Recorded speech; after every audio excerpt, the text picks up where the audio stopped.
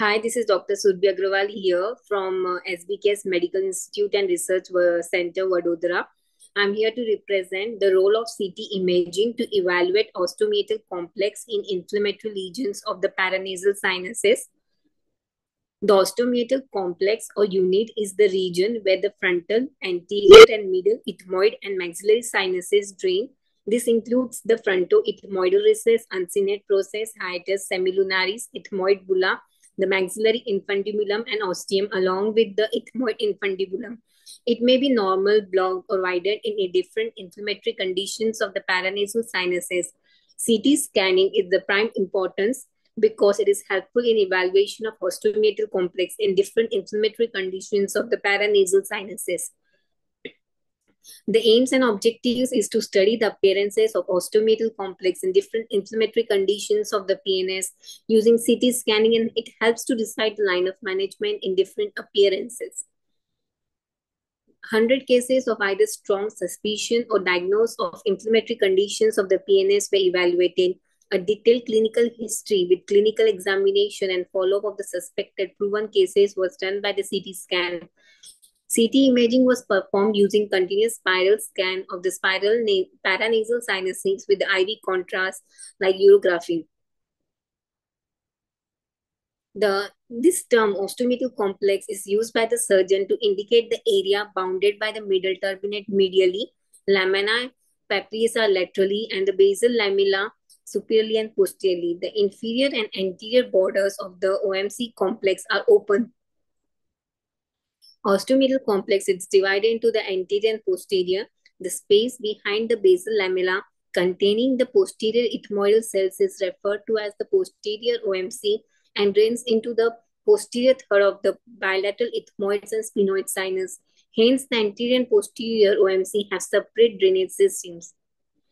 These are the two figures describing the anterior and posterior OMC. The conditions are like sinusitis, polyp, mucosal, retention, cyst, granulomatous diseases like tuberculosis, syphilis, rhinoscleroma, actinomycosis, Wegener's granulomatosis, foreign body granuloma, and mycotic infections. 100 patients of inflammatory conditions of the paranasal sinuses were evaluated. Out of these, OMC evaluation was done in 53 cases. 20 patients had normal OMC despite being affected by inflammatory conditions. 20 patients had blocked OMC. Out of these, 12 had sinusitis, 6 had polyp, 1 had mucocele, and another one had other inflammatory conditions of the PNS. Widening of uh, complex was seen in 13 cases. Out of these, 3 suffered from sinusitis, 9 had polyp, and another one patient had inflammatory conditions of the PNS. This is a table um, um, uh, depicting the normal, blocked, and widened uh, other uh, other conditions like sinusitis, polyp, retention, cyst, mucosal. This is a graph with the showing normal, widened, and the blocked OMC.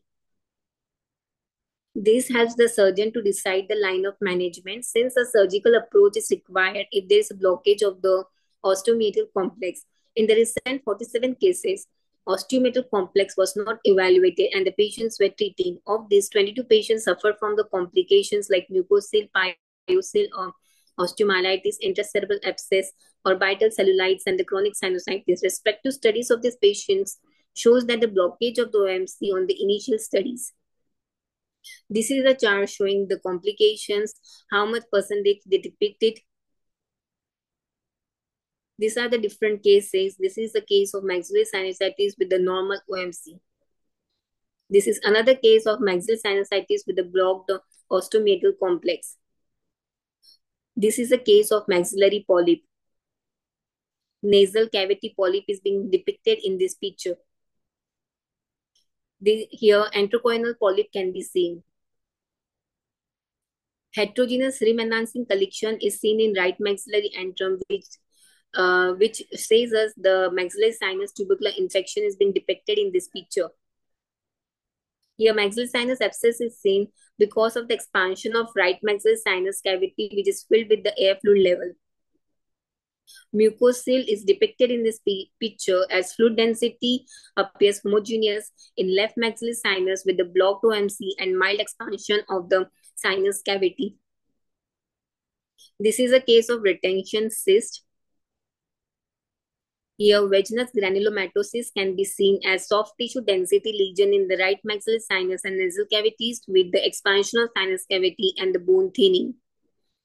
Here we conclude that CT imaging remains the ideal scanning modality to evaluate OMC in different inflammatory conditions of the paranasal sinuses and help to change the line of management in different appearances. Thank you.